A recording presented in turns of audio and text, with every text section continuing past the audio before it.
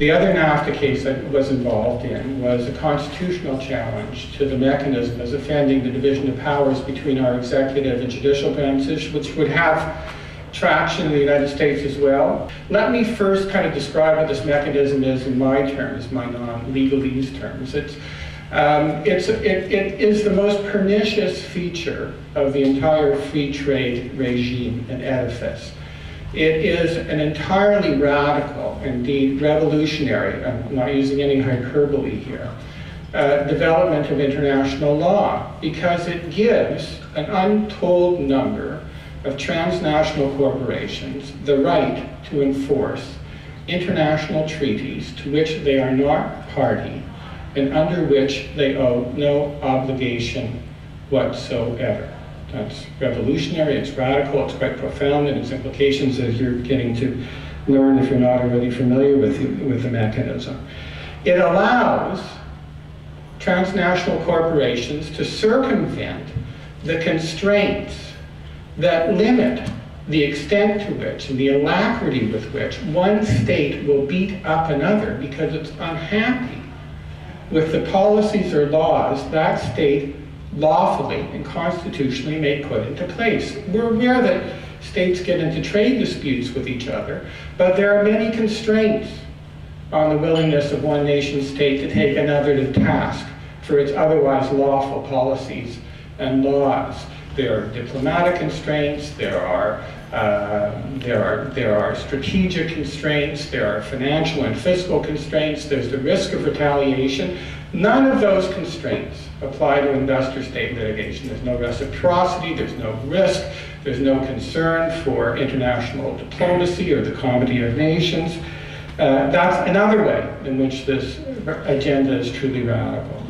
The third is in that it transcends the limitations that restrain the ability of one state to beat up another by engaging the very apparatus of that other state to punish it. Let me explain what I mean. If I, if I file a trade complaint against you, and I'm, my position is exonerated, my remedy is to impose a border measure against your goods coming into my country. In other words, my remedy is my own domestic constitutional remedy against something that some international body has found to be in breach of a treaty obligation you owe me.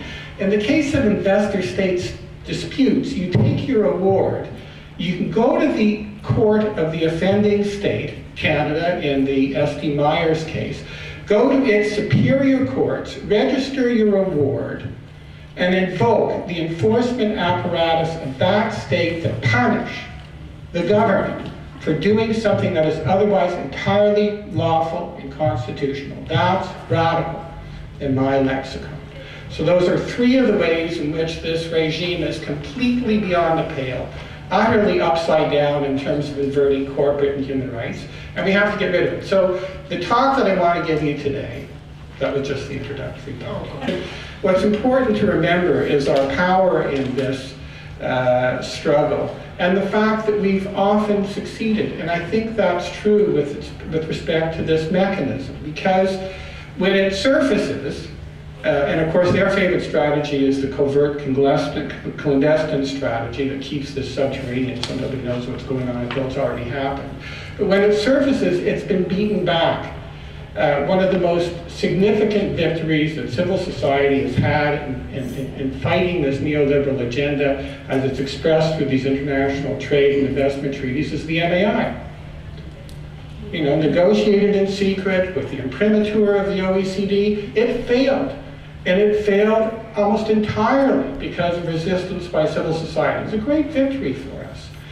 The investment uh, state mechanism, the corporations have wanted to embed in the WTO. They tried in, in 95 and it, their entreaties were rejected. They tried again in the Doha round. They were rejected.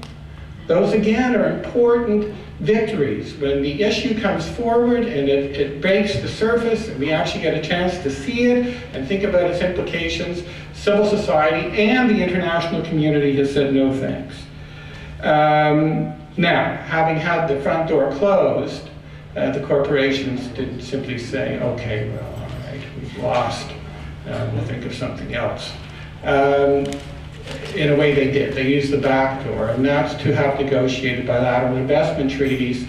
You know, there were probably, I don't know, probably about 250 of them in 1990. They're now well over 2,500. The reason there are so many is if you're Argentina, you will have negotiated investment treaties with a dozen or so OECD countries and another one with some South America. So you have a whole number of them. Each country's negotiated a whole series of these. And embedded into those agreements is the same mechanism. Uh, and so what they haven't been able to kind of accomplish through the front door, they've managed to maneuver and establish through the side and the back door. Now, we've also had success in containing that agenda as well, because it happened in a covert, clandestine way. People aren't aware of the fact that this framework of international uh, law has been created in bits and pieces. But it's clear that when civil society organizes around these issues, these disputes can be defeated. Uh, in Canada, I think the fact that the UPS case failed, in the US, that the Methanex case failed, is simply uh, a reflection of and a testament to the fact that uh, civil society has raised the profile uh, of this issue as much as it has, and has made clear the stakes to these corrupt private adjudicators and adjudicative mechanisms that there may be consequences in terms of perhaps killing the goose that's laying the golden egg, if they decide a case against the United States, or go too far in deciding a case against Canada. So that too, I think, is a reflection of our mobilization and efforts to kind of raise the profile of these issues uh, and to defeat them.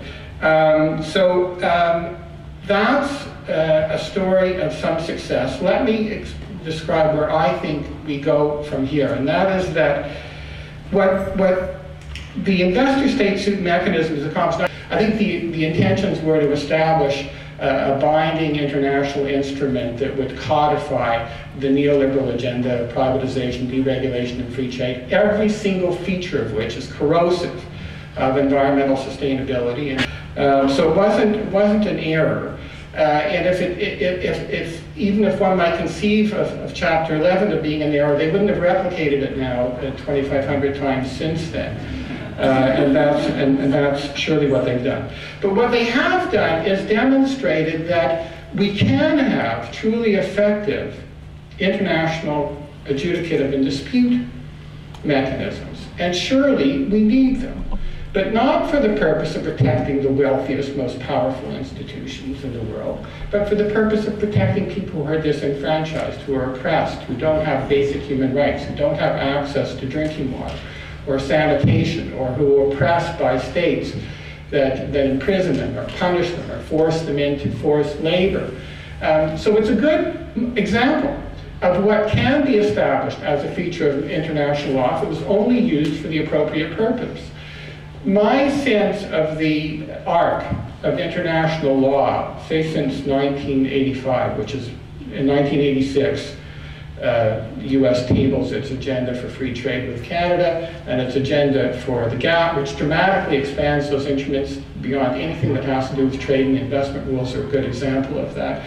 You have kind of international human rights and trade law kind of more or less on a level playing field. Neither is terribly enforceable, neither is articulated with any particular precision. And what's happened in the 20 years, 25 years since then is that the rights of investors and corporations have delineate, been delineated with great deal of precise uh, black letter law and attached to which are these incredibly powerful enforcement mechanisms where human rights law has remained kind of where it is but the rights that are supposed to be protected by those instruments have suffered egregiously because of the rise of corporate rights. So in a way, this is like, this is what's happened. Corporate rights have ascended, human rights have descended, and what we have to do, which way is the counter-revolution?